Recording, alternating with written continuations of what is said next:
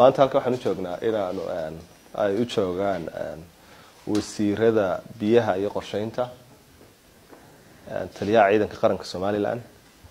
Antony oo nagala jooga oo ah madaxa sanduuqa horumarinta somalilan ee s d f. Iyo hay'adda halotras oo ah hay'adda mina barda. Halka waxaan u joognaa ay wasiiradu u joogaan inay aqoonsadaan dadaalo runtii hor leh oo horumarineed oo ay ciidamada qaranka somalilan ka galeen hawsha biyaha hargeysa mashaariicda biyaha hargeysa iyo hay'adda helotras dhuumaha biyaha qaada ee magaalada hargeysa. Runtii waxaan ognahay magaalada hargeysa inay tahay meel buuralaya oo dhul adag ku taalo dhagaxa.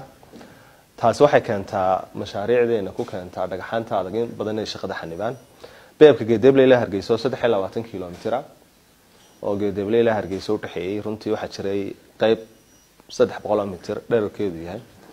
Oo uu ku jiro dhagax ilaa shan iyo labaatan mitir oo kala duwan ku dhex jiraan. Dhagaxaasoo dhagaxeed oo adaga shirkada ka shaqeynaysay waxay ku kadeedantay hawshaas muddo sanada. Runtii kambanigii ethoobiyaanka ay ka shaqeynayay oo runtii keentay xitaa marxalad qalabkii ka shaqeynay o dhan ay wada jajabeen ay gaadhay in laga kareyn waayaba qalab laga kareeyaba waaye mashruuc istaagay runtii. Sidoo kale shaqada labaad ee ah shaqada ceelasha ceelasha biyaha lagu soo ururinaya walvilka ah. Baabkii ceelasha biyaha waayo ceelba meel buu ku yaalla hal baaba biyaha ka soo ururiya. Oo iminka iyaduna socotay. Taana waxaa xanimay dhagax lix mitir oo muddo hayay runtii howlahaas dowladda somalilan gaar ahaan ciidamada militarigu ciidamada qaranka somalilan iyo hay'adda helotras runtii iyadoo ka baxsan sida caadiga ah howlaha qabtaan.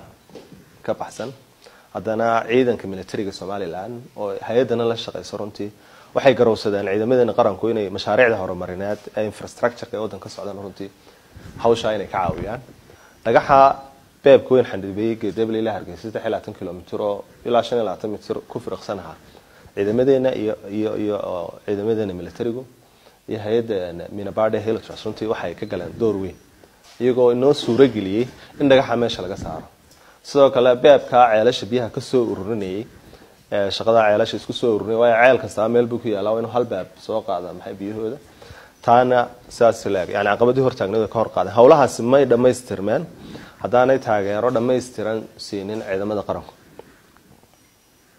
Aanay taageero dhamaystiran siin marka maanta wasiirada biyaha iyo qorsheyntu oo inagu halkan joogno howlka shirarka wakaalada biyaha yani waxay halkan jooga inay ka garowshe bixiyaan hawsha muhiimka ah ay ka qaateen waayo ciidamadeena qaranku uma aasaasan oo kaleeta howlahan dadku sawirtaan. Waayo ciidan marka la dadku waxa laga yahay maskaxdooda inay ku soo dhacdo dagaal.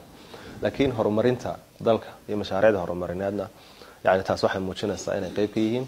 Waxaan uga mahad celinayaa taliyaha guud ee ciidamada qaranka somalilan sareeyegaas nuux ismaaciil. Tani isaga ciidamadiisaba hawshaas iskaga xil saareen muddadii ay socotay. Saanadoodii inaanay waxba kala hadhin iyadoo laba jeer markii horena ay socotay runtii hawshaasi muddo laba wiik ilaa saddex wiiga oo sannadkii dhammaaday bilowgiisiiya tan dambana ahayd bishan dhammaatay january. Labada jeerba ciidamada qaranku. Habeenii maalinba ay u taagnaayeen hawshiisaa loo dhammaystiri lahaa.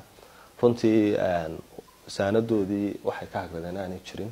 Hawshaa la'aantoodna aanay dhammaystiranteen. Waayo waxaynu istaagnay marxalad uu mashruucu de intaa daraaddii u dhiban gaadho oo sanad baa la xanibnaa. Waxaynu istaagnay marxalad combanigii ka shaqeynaya uu financially uu noqdo bankrupt uu ku kacoba waxaan gaarnay marxalad la waayo hal cagafo meeshii tagta. Markaa runtii isagoo madaxweynuhuna hawshaa garwadan ka taliyaha anaku wakaalad ahaan waan uga mahad hawsha baaxadda le inala galeen. Waxaananu maanta tan loo qabtay uun in la xasuusiyo dadka ciidamadeena qaranku inay horumarinta dalka iyo mashaariicda waxtarka le dalkana ay saa qeyb uga yihiin. Marka waad mahadsantihiin